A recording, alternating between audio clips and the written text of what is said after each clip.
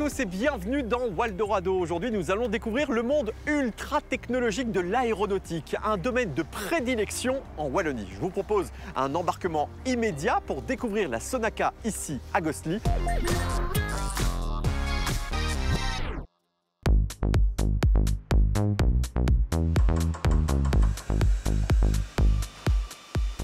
Yves Delade, bonjour.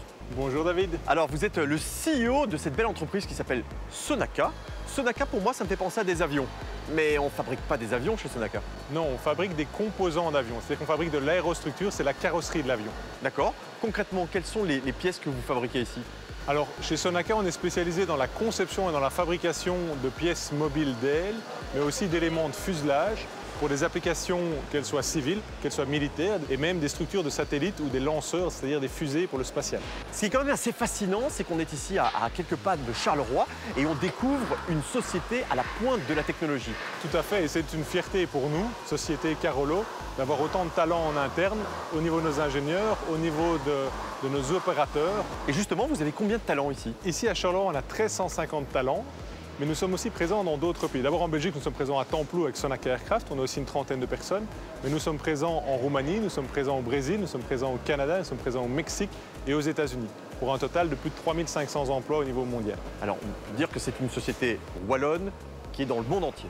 Alors nous sommes effectivement un leader mondial ancré et basé en Wallonie. Comment ça a pu être possible Ben, c'est une aventure qui s'est étalée sur plusieurs décennies avec le support de nos actionnaires, avec le support de la région wallonne, avec vraiment le savoir-faire belge, tant au sein du bureau d'études qu'au sein de la production, qui nous a permis de se spécialiser dans une niche de produits qui sont les SLAT, les bords d'attaque mobile. Je pense que mes collègues vous en parleront avec plus de détails. On va développer Mais ça. on, a, mais on a aussi beaucoup d'autres produits. Donc on offre des services de consultance. On aide par exemple des grandes sociétés énergétiques à gérer le démantèlement des centrales nucléaires. On aide des sociétés comme Cowboy à concevoir euh, certaines pièces de leur vélo. Mais non, On aide des sociétés dans le domaine clinique à faire de la gestion de projet pour des tests, développement de médicaments contre le cancer, parce qu'on a vraiment cette vocation d'aider l'écosystème belge à se développer en mettant à disposition la totalité de nos ressources.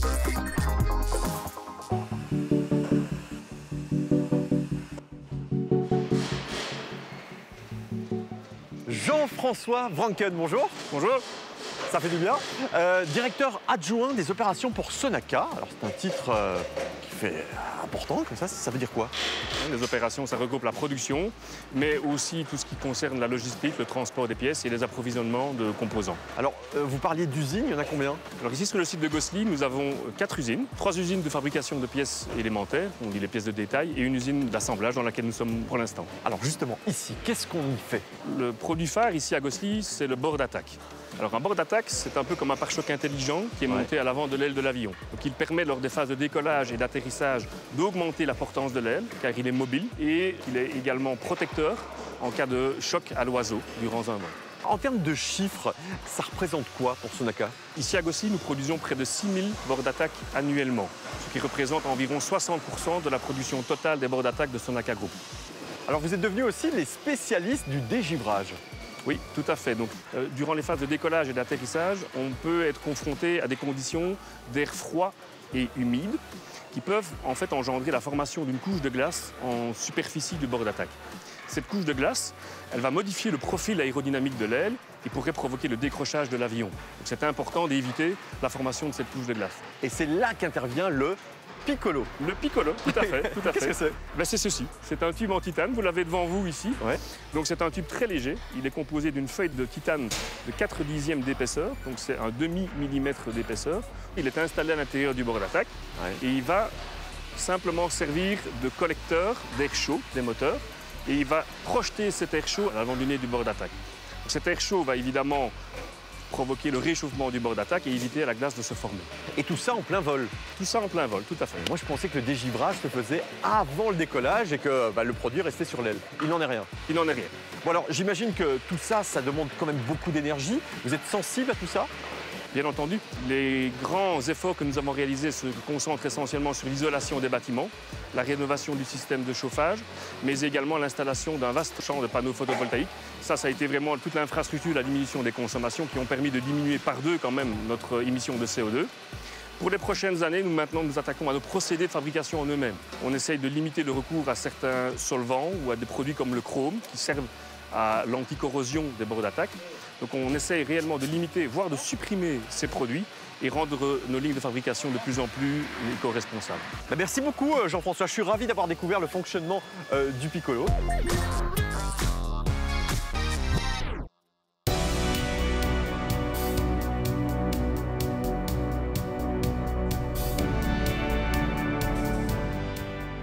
Nicolas Vanille, bonjour. Bonjour. Directeur recherche et technologie, directement, ça fait sérieux avec cette petite veste aussi, pourquoi?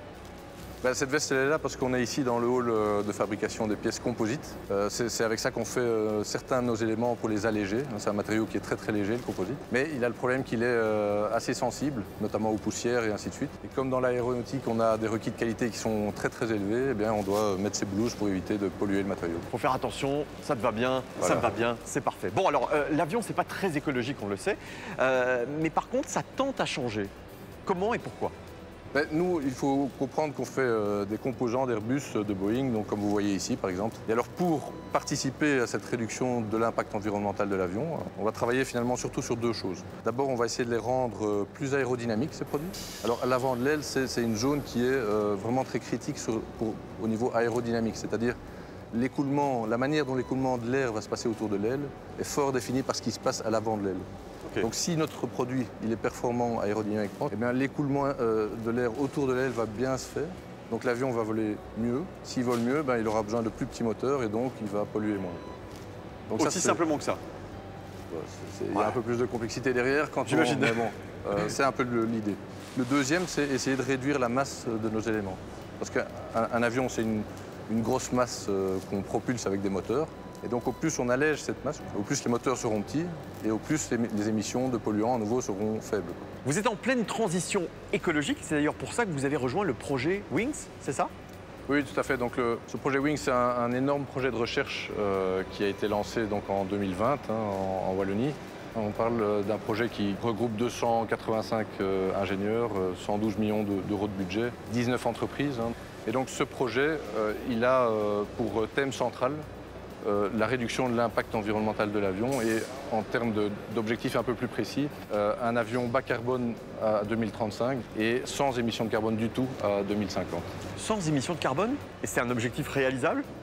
Ah Oui, oui c'est tout à fait vers ça que les avionneurs euh, travaillent avec des moteurs électriques ou des moteurs à hydrogène. Tout ça, c'est des, moteurs propres qui ne feront plus de carbone.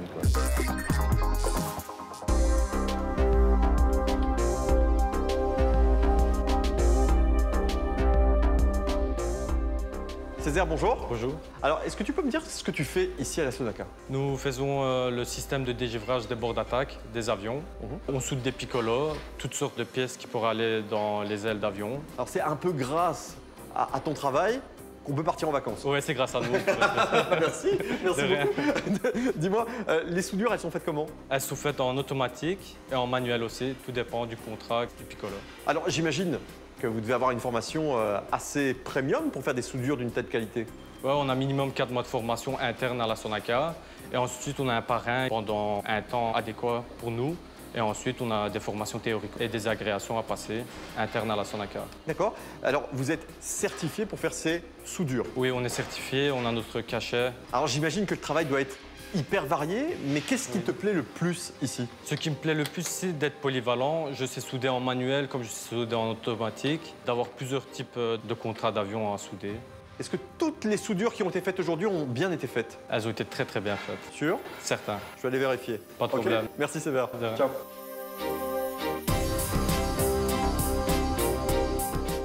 Paul Requin, bonjour. Bonjour David. Alors, on est dans un endroit assez particulier. C'est l'endroit où on contrôle les soudures, c'est ça? C'est ça. Ici, on se retrouve dans la cabine de reçuage, donc qui permet de contrôler à 100% nos tubes euh, Piccolo. Alors, on voit derrière euh, ces fameux tubes Piccolo. Et pour que la soudure soit Piccolo Bello, comment vous faites pour la contrôler? On peut faire déjà un premier contrôle visuel et dimensionnel, mais aussi par reçuage. C'est l'application d'un produit fluorescent, pénétrant, qui va rentrer dans la matière s'il y a un défaut et va être révélé grâce à un révélateur. Si je comprends bien, dès qu'on voit un petit peu de couleur fluorescente, ça veut dire qu'il y a un problème à la soudure Pas forcément. Donc c'est pour ça qu'on a besoin de personnes qualifiées pour appliquer le reçuage. En fonction de la typologie de pièce, le phénomène de capillarité peut aussi intervenir. Donc on a besoin d'un œil d'expert pour définir si c'est un défaut qui est lié à la soudure ou si c'est une indication qui est liée plutôt à la typologie de pièce. Et tiens, une fois qu'on a trouvé un éventuel problème, qu'est-ce qui se passe? On applique des procédures de réparation si le défaut est répa- est réparable. Si c'est pas réparable, bah, on rebute la pièce. Dans le secteur de l'aéronautique, on peut dire que c'est un domaine qui est particulièrement surveillé, euh, contrôlé, et il y a un organisme qui contrôle les contrôles que vous faites. C'est ça, effectivement. Les grands donneurs d'ordre ont créé un organisme qui s'appelle NATCAP pour justement nous, nous auditer de manière régulière sur les procédés spéciaux. Donc ils vérifient qu'on applique les bonnes pratiques pour pouvoir réaliser des cordons de, sou- de- de qualité et ainsi garantir le- la sécurité des utilisateurs des avions. Et on peut dire que la Sonaca, pour ça, c'est un très bon élève. Exactement. Ah, et c'est très bien.